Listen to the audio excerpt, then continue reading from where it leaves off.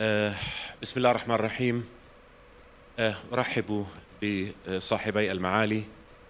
آه، سامح توني.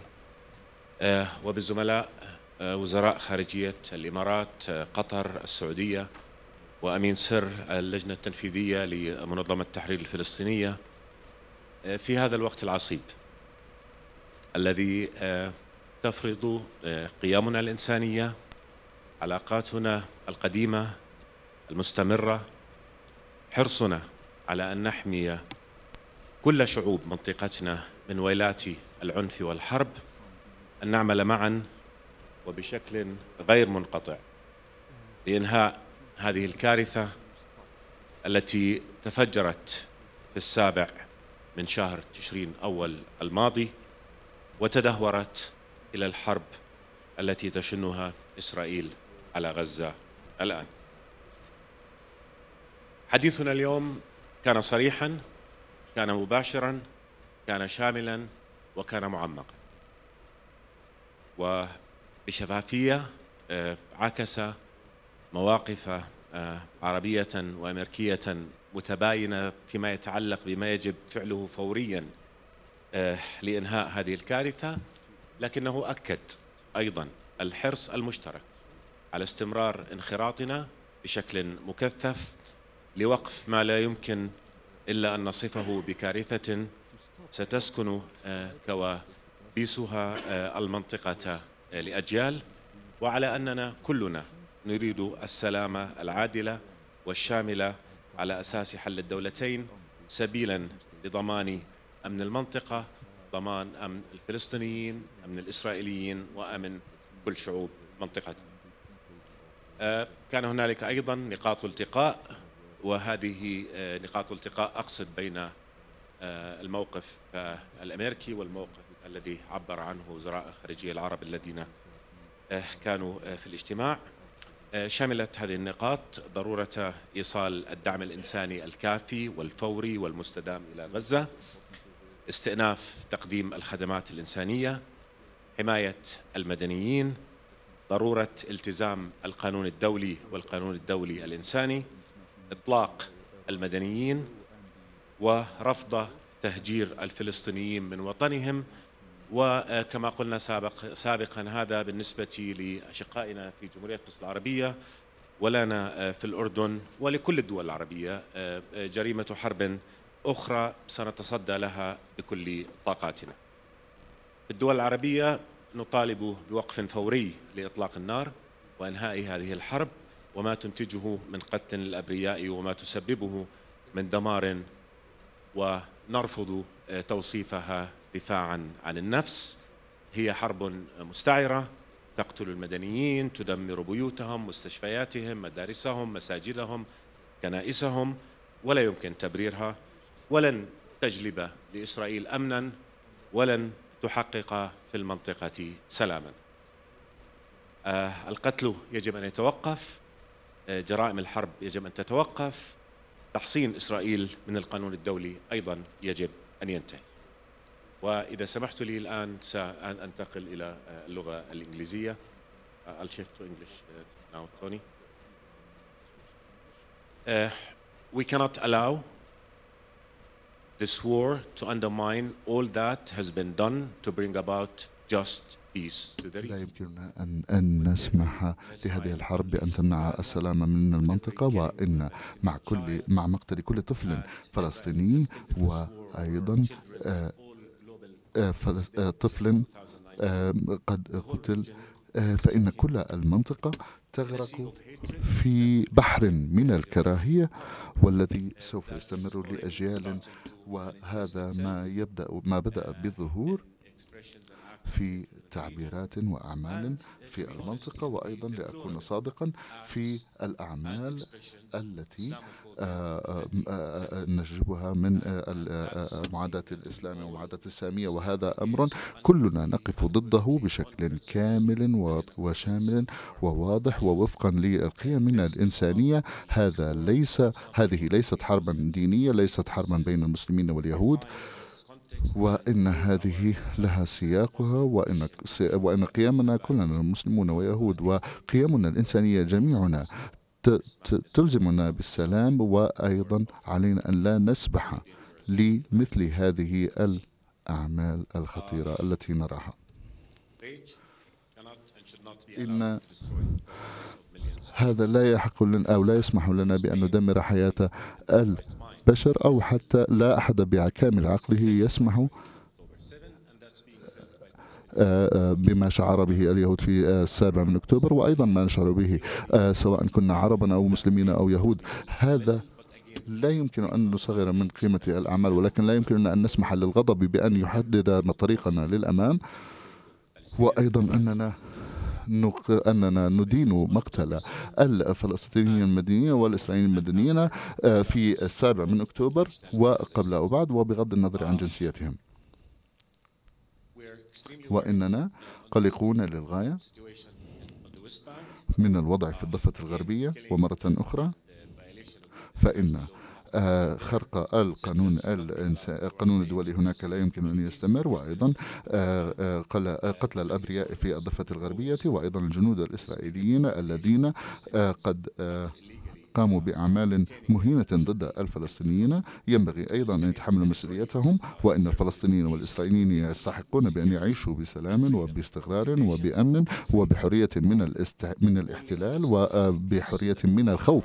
وإن السلام فقط هو آه، آه، سبيله الوحيد لتحقيق دولة الفلسطينيين بعاصمتها القدس الشرقية على حدود السبعة وستين وعايشا جنب جنب بجانب بجانب جنبا إلى جنب بجانب إسرائيل بأمن واستقرار وإن الوقت قد حان لإيقاف الحرب وإنقاذ الحياة وأيضا الإيقاف من التدمير وإيقاف وأن كل الحياة ذات قيمة مشتركة واحدة. وسيدي الوزير آه، فإن لدى الولايات المتحدة دور كبير لتلعبه في هذه المسألة وبناء على ذلك و للمسؤولية الكبيرة لإنهاء مثل هذه الكارثة وتحقيق السلام العادل الذي هو حق لكل فلسطيني ولكل إسرائيلي ولكل أم وطفل ولزوجة وأن نتأكد من أن آه، بأنه لا يوجد أحد أو لا أو, أو لن يعيش أحد آه، آه، هذه الدائرة العنيفة من العنف التي تجلبها مثل هذه الحرب وإننا سوف نستمر بالعمل معكم ومع كل شركائنا آه، لنتأكد وفقا لمسؤوليتنا لنتأكد من من أن تسود قيمنا الإنسانية والقانون الدولي أن يس وأيضا أن يسود السلام. شكرا جزيلا والآن أعطي الحديث مساء الخير جميعا. أنا ممتن لجلالة الملك عبد الله وزير الخارجية الصفدي وفريق عمله بالكامل على ضيافتهم. وعلى هذه الفرصة للقاء وزير الخارجية شكري وشركاء من جميع أنحاء المنطقة. بما في ذلك رئيس الوزراء آل الثاني والشيخ عبد الله نحن نقدر كل دولة وممتنون على وجه الخصوص للأردن ومصر وهما شريكان لطالما عملا من أجل حل الدولتين. وكرسا جهودهما لجعل منطقة الشرق الأوسط أكثر استقرارا وأمانا. لقد اجتمعنا هنا اليوم لأننا نتشارك في نفس المصالح والأهداف الأساسية وهي إنهاء هذا الصراع بطريقة تؤكد وتضمن السلام والأمن الدائمين في المنطقة. قد تكون لدينا أفكار مختلفة ومواقف مختلفة حول بعض الخطوات اللازمة لتحقيق ذلك. لكننا اليوم أعدنا التأكيد على التزامنا الفردي في الاستمرار في العمل من أجل هذه الغاية. خلال هذا الصراع لعبت الدول في الشرق الأوسط وما وراء ذلك دورا رئيسيا في ضمان عدم تصعيد أو توسع هذا الصراع. واليوم اتفقنا جميعا على أهمية استخدام نفوذنا وقدراتنا المشتركة لمنع أي دولة أو غير دولة من فتح جبهة أخرى في هذا الصراع أو اتخاذ أي إجراءات أخرى لزعزعة الاستقرار. لجميعنا مصلحة مباشرة في هذا الأمر. لقد كانت جهودنا المشتركة أيضا ضرورية في زيادة تدفق المساعدات الإنسانية إلى غزة وأنا ممتن على وجه الخصوص لمصر على جهودها الكبيرة في تيسير آلية مع إسرائيل والأمم المتحدة للقيام بذلك. وكل يوم تدخل يدخل أكثر من مئة شاحنة إلى رفح بعد أن كانت معدومة قبل ذلك ولكن هذا لا يكفي لتغطية الاحتياجات. اليوم تحدثنا عن إيجاد طرق لتسريع وتيرة توصيل هذه المساعدات. هذا الصباح سنحت لي الفرصة للالتقاء مع المفوض العام لازاريني وتحدثت مع موظفي الأونروا في غزة وللسماع منهم حول العمل الاستثنائي الذي يقومون به في غزة لإنقاذ الأرواح في وجه ظروف في غاية الصعوبة. وكيف يمكننا تسريع جهودنا لتوصيل المساعدات؟ للشعب الفلسطيني. اليوم نعمل أيضا على الاستمرار في تحقيق التقدم الذي حققنا في إخراج رعايانا وغيرهم من الرعايا الأجانب والفلسطينيين المصابين بإصابات بليغة من غزة. ولكن فيما نقوم بذلك نرحب بخروج آه، أيضا الرهائن الذين تحتجزهم حماس. وقد تحدثت مع آه، وزير الخارجية آل ثاني اليوم. اليوم تحدثنا أيضا عن الحاجة الواضحة لحماية المدنيين الفلسطينيين. الولايات المتحدة تدعم حق إسرائيل في الدفاع عن نفسها ضد حماس وهي منظمة إرهابية هاجمتها بوحشية آه، ولا تأبه بالشعب الفلسطيني أو مستقبله. هذا هو نفس الحق الذي تتمتع به كل دولة من دولنا. ولكن فيما تشن إسرائيل هذه الحملة كيف تقوم بذلك هو أمر مهم.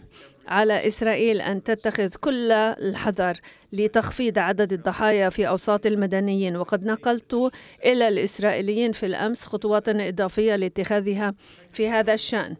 سوف تساعد حماية المدنيين على منع حماس من استغلال هذا الوضع بصورة أكبر. وهذا هو ببساطة حق مشروع آه، للقيام به. عندما أرى طفل أو طفلة فلسطينية تخرج من تحت أنقاض مبنى آه، هذا يؤلمني جدا ويؤذي الجميع. أرى أطفالي وأرى وجوههم وكبشر وكيف لأي منا ألا يشعر نفس الطريقة. هذا الصباح سمعت من موظفي الأونروا في غزة وكثير منهم قد نزح أيضا. حول الثمن البشري الذي يدفعه الفلسطينيون.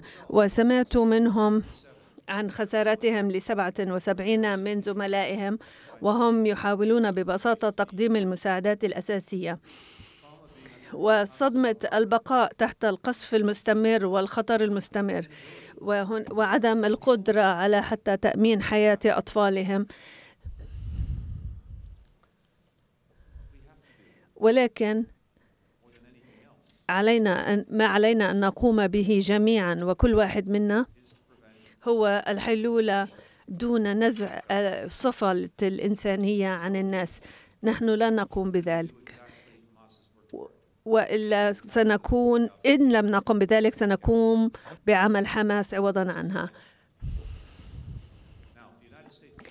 والولايات المتحدة تؤمن أن جميع هذه الجهود آه، يمكن تسييرها من خلال وقفات آه، مؤقتة لاهداف انسانيه لحماية المدنيين وإخراج الرعايا الأجانب.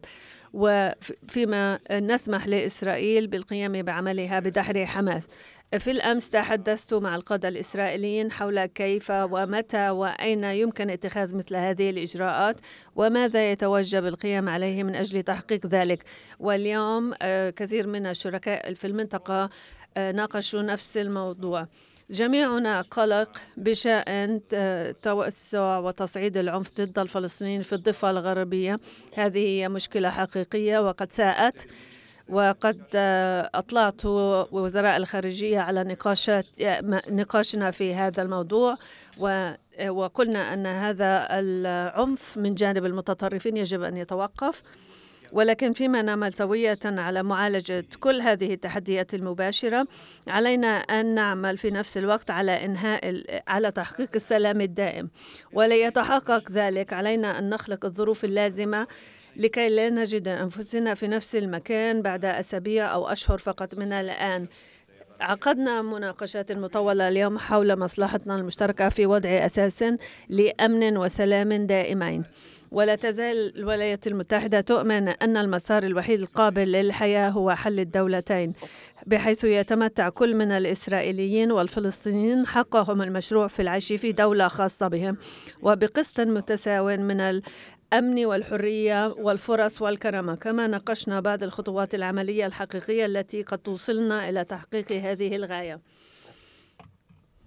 لدى الولايات المتحدة وشركائها أفكار مختلفة حول أفضل طريقة لتحقيق هذه الخطوات. ولكننا جميعا ندرك أنه لا يمكننا العودة إلى الوضع الذي كان قائما قبل ذلك. وجميعنا يفهم أنه لدينا مصلحة واحدة بل مسؤولية أيضا. في القيام بكل ما في وسعنا لرسم مسار أفضل إلى الأمام. ليس ليس لدى أحد أي أحد منا وهم أن هذا الأمر سيكون سهلا. ولا سيما شركاؤنا في مصر والأردن والذين عملوا بكد لعقود لتيسير سلام حقيقي. ولكن الوقت هو الآن بالذات. وعندما تكون هنالك الكثير من الأمور على المحك وتبدو الأمور في أحلك أوقاتها علينا الآن أن نكثف جهودنا في هذه اللحظة. شكرا جزيلا. آه، آه، معالي الوزير سامح. صديقي توني. سادة الحضور. توجهوا بالشكر إلى أخي معالي الوزير أيمن الصفدي نائب رئيس الوزراء ووزير الشؤون الخارجية والمغتربين. السادة الوزراء العقد معنا اليوم. والذي يستهدف بحث تطورات الأزمة في غزة.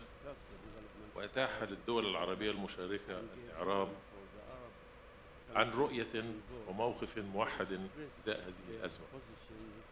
قد حرصت خلال اللقاء على توضيح رؤية مصر المتوافقة مع رؤية أشقائها العرب في التعامل مع الأزمة وأكدت على ضرورة مراعاة عناصر عنصر الوقت التعامل مع مستجداتها المتسارعة وإن أحداث القتل المؤسفة التي تشهدها غزة لا يمكن تبريرها.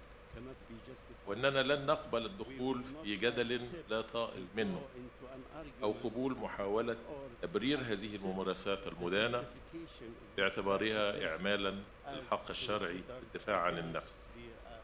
سياسة العقاب الجماعي واستهداف إسرائيل للمدنيين والأبرياء والمنشآت المدنية والطبية وفرق الإنقاذ إضافة لمحاولات التهجير القسري للفلسطينيين من أرضهم لا يمكن أن تكون دفاعا شرعيا عن النفس بأي حال.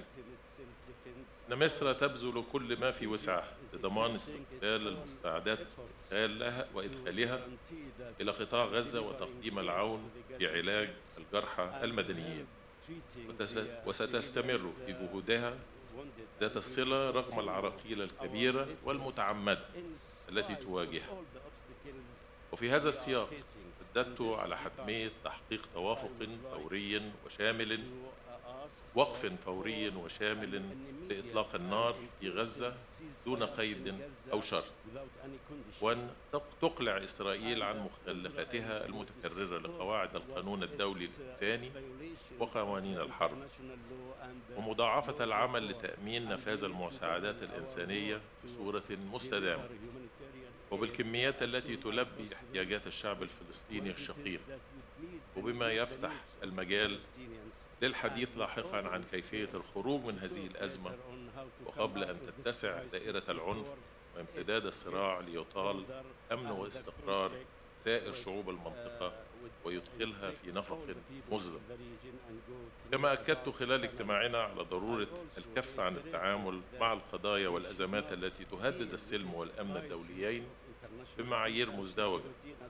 ففي حين يسارع البعض في إدانة استهداف المدنيين ووصف الاعتداءات عليهم بالانتهاكات الصارخة للقانون الدولي الإنساني والتمسك بمطالب وقف إطلاق النار في أزمات أخرى إننا نشهد معارضة الالتزام بذات المبادئ نفس الأطراف حينما يرتبط الأمر بالقضية الفلسطينية. وكأن دم الإنسان العربي أقل قيمة من دم أخيه الإنسان في أماكن أخرى. علما بأن أعداد من أزهق أزهقت أرواحهم من المدنيين في غزة على مدار الأسابيع القليلة الماضية وضمنهم العاملين في مجال الإغاثة والصحفيين لا يمكن تبريرها بأي ذريعة أو ادعاء.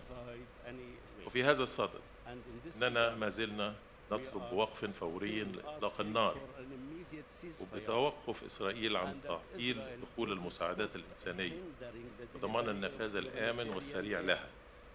كما نطلب التحقيق الدولي في ممارسات والانتهاكات الصارخة للقانون الدولي التي تشهدها هذه الحرب.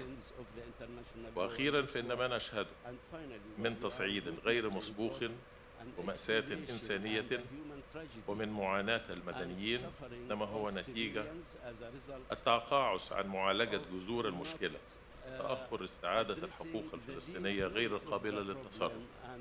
وإذ أنني أكرر اليوم الرفض القاطع لأي محاولات لتصفية القضية الفلسطينية على حساب الشعب الفلسطيني أو دول المنطقة. أنني أطالب مجددا بالعمل على في أسرع وقت ممكن على إحياء عملية السلام وفقا لحل الدولتين. في سبيل إنهاء الاحتلال الإسرائيلي وتجسيد الدولة الفلسطينية على خطوط الرابع من يونيو عام 1967 وعاصمتها القدس الشرقية وشكرا. شكرا سامح. And again thank you Tony. Thank you Sameh. Uh, I'm sure the three of us would love to stay and answer all your questions, but we really have a very, very جميعا نريد أن نبقى هنا ولكن هناك الكثير من العمل المتبقي أمامنا. لذا سنأخذ عددا محدودا من الأسئلة وأقدر من زملائنا إذا ما قاموا بقصر آه، أسئلتهم على سؤال uh, واحد. شكرا عليك. آه، نبدأ الأستاذ خالد العيسوي وكالة أنباء الشرق الأوسط. آه، سؤالي لمعالي وزير الخارجيه المصرية سم... آه، معالي الوزير سامح شكري آه، يمكن يا فندم الاجتماع اليوم آه، كان في توقيت هام وأيضا حضور ال- الاجتماع شخصيات هامه تتمثل في وزراء خارجية الدول العربية آه، الهامه ذات التأثير آه، والتأثر بالقضية الفلسطينية. هل معاليك يا فندم استشعرت اليوم أن الإدارة الأمريكية لديها يعني إرادة آه، سياسية أو قدرة على آه، وقف الاعتداءات آه، المستمرة والمتكررة ضد المدنيين في قطاع غزة. وهل أيضا عرض من الجانب الأمريكي خلال اجتماعه مع وزراء الخارجية العرب أي خريطة طريق أو خطة لاستئناف عملية السلام أو الدفع لعملية السلام أو إنهاء الأزمة الراهنة؟ شكرا يا فندم. شكرا جزيلا أتصور أنه غير ملائم أن أتحدث عن الموقف الأمريكي في حضور معالي وزير الخارجية لكن ما أستطيع أن أقوله بأنه حديث كان حديث معمق وحديث شامل وحديث شفاف وحديث فيما بين دول تشترك في الرغبة في العمل بشكل فعال لاحتواء هذه الأزمة ووضع الأسس والحلول التي تعفي. المنطقة من الصراعات التي تؤكد آه، أهمية التعامل مع آه، كل القضايا بمعايير آه، واحدة وأيضا الوصول إلى حماية المدنيين ونفاذ المساعدات وأيضا أفق التعامل مع جذور الأزمة وهي عدم تنفيذ حتى الآن رغم السنوات العقود التي مضت ما هو متوافق عليه دوليا من حيث إقامة الدولة الفلسطينية حل الدولتين واعتبار هذا هو ما يز- يز- يز- يزيل الصراع والعداء القائم والمخاطر المتولدة عن ذلك. نتطلع دائما العمل بشكل وثيق مع الولايات المتحدة لدينا علاقة استراتيجية تقدر ما الإمكانيات المتوفرة آه، لدى الولايات المتحدة وبالتالي آه، كان هناك اهتمام ومواضع كثيرة توافقنا عليها آه، وسوف نعمل خلال الفترة القادمة على وضع هذه الأفكار والرؤى موضع التنفيذ من أجل احتواء أزمة طاحنة أزمة ثانية لابد من آه، تضافر الجهود للتعامل معها وبشكل إيجابي بشكل ليس فقط يعالج الأزمة الحالية ولكن يعالج جذور المشكلة كذلك Hi, um, thank you. Yeah, uh, one question, but uh, but I'd appreciate an answer from all of you. سؤال أريد إجابة منكم جميعا بالنسبة للوزراء المصري والأردني بالتحديد هل تتحد... هل تحدثتم حول مستقبل غزة بدون حماس؟ وما هو الدور الذي يمكن أن تلعبوه في هذا الدور؟ وبالنسبة لوزير الخارجية بلينكن هل استجبتم لدعوات وقف إطلاق النار من حلفائكم هنا؟ وهل تجدون قبولا آه، آه، بالنسبة للحديث حول غزة بعد حماس؟ Simon, thanks very much for the question. شكرا جزيلا. من وجهة نظرنا آه، التوصل إلى وقف لإطلاق النار الآن. يترك حماس في مكانها. ستتمكن من إعادة تجميع قواها وإعادة ما قامت به في السابع من أكتوبر. آه، آه، قبل عدة أيام قادة حماس قالوا 7th again أنهم سيكررون. ما قاموا به في السابع من أكتوبر مرة تلو الأخرى. ولا يوجد أي أحد منا سيقبل بذلك ولا يجد أي منا ذلك مقبولا. لذا من المهم أن نعيد التأكيد على حق إسرائيل وحتى واجبها في الدفاع عن نفسها وأن تتخذ October 7th الإجراءات اللازمة لكي. تضمن عدم تكرار ما حدث في السابع من أكتوبر ولكنه من الضروري أيضا آه، أن نفكر في كيفية قيام إسرائيل في. ذلك وقد تحدثنا إلى آه، with الحكومة الإسرائيلية عن ذلك. وعن اتخاذ كل إجراء ممكن. لحماية الأرواح البشرية. ومنع وقوع ضحايا في أوساط المدنيين والتأكد من آه، أن. حصول من يحتاج To المساعدات على تلك المساعدات. ولهذا هذه الغاية آه، تشطرنا آه، القلق بشأن حياة الأرواح آه، أرواح المدنيين في غزة وضرورة حماية الأطفال. وحصولهم على ما يحتاجونه. وقد عملنا بجهد لتأكيد وصول المساعدات إليهم.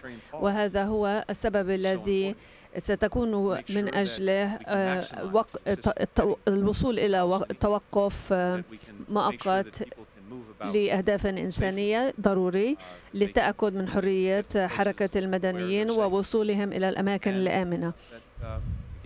ومرة أخرى يمكننا أن نتأكد آه، من ليس فقط تدفق المساعدات ولكن أيضا من بناء الهياكل اللازمة التي ستساعد على استفادتهم من ذلك. نحن نركز على هذه الجهود وسوف نستمر فيما نقوم به آه، من عمل مشترك مع شركائنا لتقديم المساعدات اللازمة. شكرا توني. فيما يتعلق بوقف إطلاق النار موقفنا هو أن التابعات الإنسانية لهذا الصراع والتعامل مع uh, with, uh, المختلفة لهذا الصراع يجب أن يتم معالجتها بصورة ملائمة. وعلى المجتمع الدولي مسؤولية دائما أن التوصل إلى وقف لإطلاق النار والحلول دون استمرار العنف.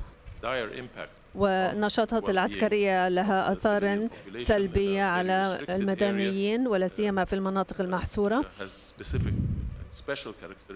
التي تتمتع بمزايا خاصة مثل غزة. في. غزة ومستقبل very غزة.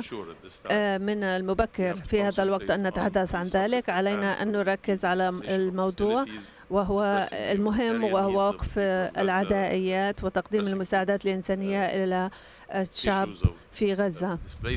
والتعالج مع قضية التهجير وتوفير الأمن conflict. للمدنيين ومعالجة أيضا الصراع. أؤمن أنه في هذه المرحلة هذه هي المسائل التي يجب علينا التركيز عليها. شكرا. Uh, شكرا. نحن نركز الآن على إيقاف هذا الحرب والدمار الذي تسببه والقتل تسببه.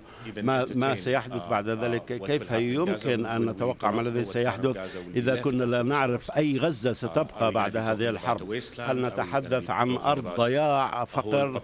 هل نتحدث عن سكان أصبحوا لاجئين؟ نحن لا نعرف ببساطة ليس لدينا كافة المتغيرات لنعرف ذلك. أعتقد أن علينا أن نركز الآن على إيقاف هذا الحرب. لكي يكون لدينا على الأقل أو أن نبدأ أن نتخيل الحقيقة المؤسفة الموجودة هناك وبعد ذلك دعوني أكون واضحا. غزة وحدها عانت كثيرا من هذا النزاع من قبل. والطريقة الوحيدة للمضي قدما لتحقيق كل ما نريد وهو سلام عادل وشائم لمصلحة الجميع هو أن ننظر إلى الصراع بشكل عام وأن نعيد حل الدولتين ونحققه بأقرب وقت ممكن وأن نقنع الفلسطينيين أن لديهم مستقبل. ومرة أخرى أن نوجد الظروف المختلفة عن الظروف البائسة من الغضب واليأس والكراهية والاحتلال التي ودورة العنف. أعتقد أن أولوياتنا يجب أن تكون واضحة. علينا أن نوقف الحرب الآن. علينا أن ندخل أغذية وماء ووقود إلى غزة لأنه في كل لحظة تأخير. هناك طفل أو امرأة أو شيخ يموت بسبب عدم وصوله إلى هذه الخدمات الأساسية. وبعد ذلك مرة أخرى علينا أن ننظر إلى الصورة الشاملة وأن نتأكد أن لا نعيد نفس الظروف التي تسببت فيها هذه هذا العنف. أعتقد أننا جميعا ملتزمين للعمل من ذلك وكذلك الولايات المتحدة لديها دور قيادي. نحن بحاجة إلى هذا الدور وعلى الجميع أن يقوم بواجبه. مرة أخرى لكي نعيد الأمن والسلام إلى الفلسطينيين والإسرائيليين. شكرا. إياد تلفزيون المملكة. إياد. معالي الوزير بلينكن لماذا لا تضغط واشنطن على تل أبيب لوقف الحرب وإدخال الوقود بعد توقف 17 مستشفى واستشهاد أكثر من 9000 فلسطيني؟ شكرا. نحن نركز وبشدة على تقديم المساعدات الإنسانية في آخر رحلة لي إلى المنطقة. قضيت كثير من الوقت مع الحكومة الإسرائيلية وفي مشاورات مع الحكومة المصرية والأمم المتحدة فيما يتعلق بوضع قناة لتوصيل المساعدات اللازمة إلى غزة. كما ذكرت قبل قليل قبل أسبوع لم تكن هنالك أي مساعدات تصل إلى هناك والآن لدينا 105 شاحنات شاحنة تدخل إلى غزة يوميا وتوصل المساعدات الإنسانية اللازمة للشعب. ولكن كما قلت وجميعنا يتفق هذا ليس كافيا. ونعم ما نعمل عليه الآن هو توسيع هذا الوصول للمساعدات الإنسانية والتأكد من دخول المزيد منها. لمن يحتاجها وأن نضع البنية التحتية اللازمة لاستيعاب هذه المساعدات واستخدامها وتوزيعها. هذا هو بالضبط ما نقوم به. عندما كنت في إسرائيل أمس ركزنا كثيرا في حديثنا على هذا الأمر مع الحكومة الإسرائيلية وكما ذكرت هي هذا هو أحد الأسباب التي تدعونا إلى وضع وقفة مؤقتة للأعمال العسكرية لتوصيل المساعدات وأيضا توسيع المساعدات التي نقدمها. إذا نحن نتطلع إلى ذلك. واتفقنا مع الحكومة الإسرائيلية أمس على النظر في كيفية تحقيق ذلك. كانت هنالك الكثير من الأسئلة التي يتوجب الإجابة عليها. ولكن مرة أخرى نركز بشدة على تقديم المساعدات الإنسانية التي يحتاجها الناس هناك. تامر صمادي قناة الجزيرة. سؤال الوزير بلينكن. بعد مرور ما يقرب من شهر على الحرب الإسرائيلية على قطاع غزة ما هي النتائج التي حققتها إسرائيل سوى قتلها لأكثر من أو ما يقرب من عشرة آلاف مدني غالبيتهم من النساء والأطفال. ما هي النتائج التي حققتها إسرائيل غير ذلك؟ وما هو الرقم رقم الضحايا على على يعني وجه التحديد من المدنيين الذي سيدفع الولايات المتحدة إلى التوقف مليا إلى آه، الالتفات إلى هذه المجزرة المفتوحة. والطلب بشكل حازم من إسرائيل وقف هذه المجزرة ووقف شلال الدم في القطاع المحاصر.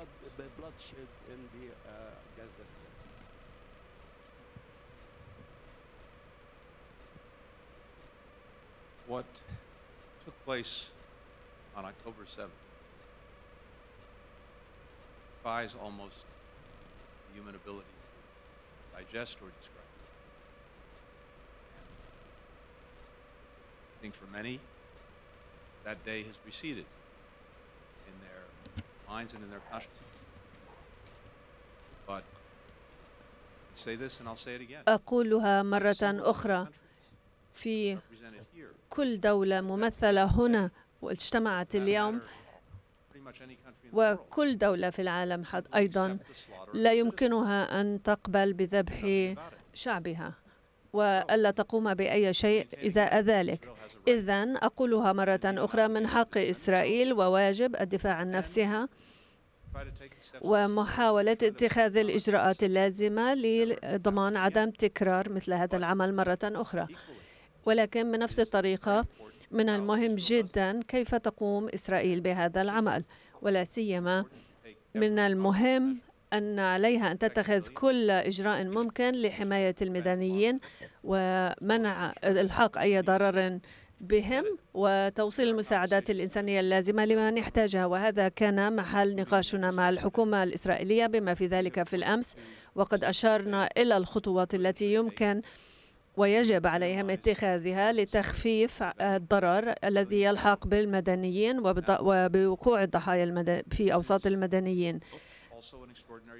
هذا هو تحدي استثنائي في نفس الوقت لأن حماس وبصورة وحشية آه، تزرع نفسها في أوساط المدنيين ومحاربيها وقادتها وذخائرها ومراكز التحكم والقيادة موجودة في المدارس وتحت المدارس وتحت المستشفيات وفي داخلها وداخل المساجد وفي آه، وتحت المساجد. وهذا أمر وحشي.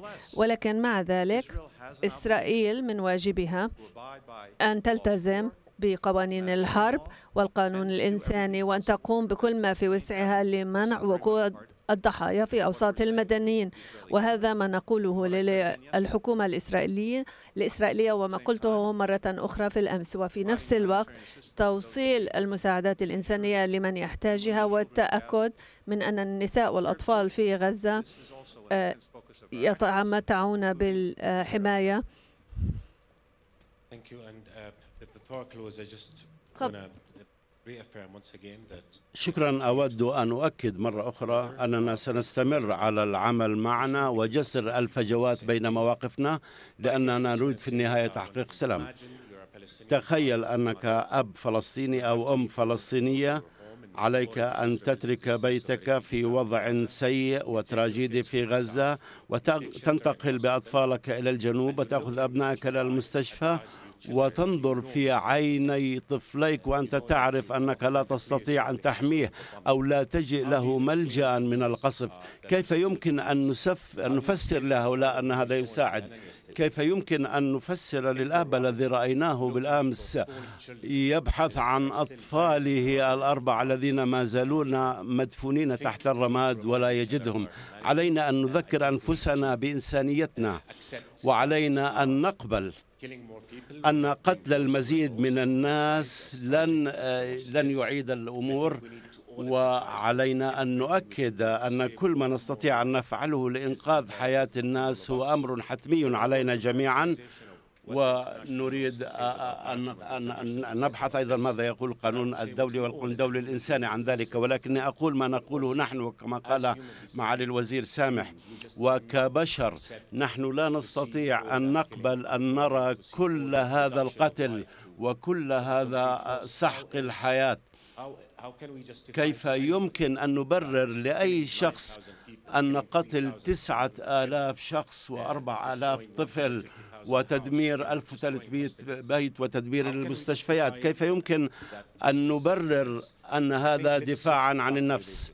دعونا نعود إلى الأساسيات ونتوقف قليلا وننظر. جميعنا نفهم ونقدر هذا الألم ونشعر به ولكن هذه الحرب ستفاقم من الألم للفلسطينيين والإسرائيليين وبالتالي ستؤدي إلى الهاوية وتجعل القتل أكثر قبولا.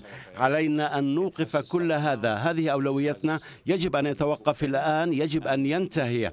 وعلينا أن نعمل جميعا من أجل مستقبل ينظر فيه الطفل الفلسطيني إلى الطفل الإسرائيلي. كصديقا في المستقبل وليس عدوا. وهذا ما نريد أن نقوم به وأريد أن أتعاون مع كل الزملاء في هذا المجال من أجل تحقيق هذه هذا الحقيقة. لنتجاوز الحرب والعنف وننهي الحالات التي حالات البؤس والشقاء والبيئة التي يعني تمكن التطرف والتي يعني قد تسبب كل هذا. وشكرا جزيلا.